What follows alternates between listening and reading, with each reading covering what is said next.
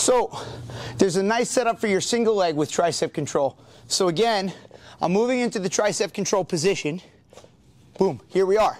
The first thing, as usual, is I'm gonna move them so I can get them a little off balance. Let's turn a little bit so they can see. So I push, I move them, I get them off balance.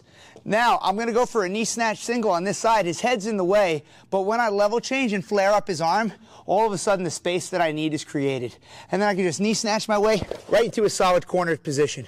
Then I'll move around for my single finish with my shelf. One more time.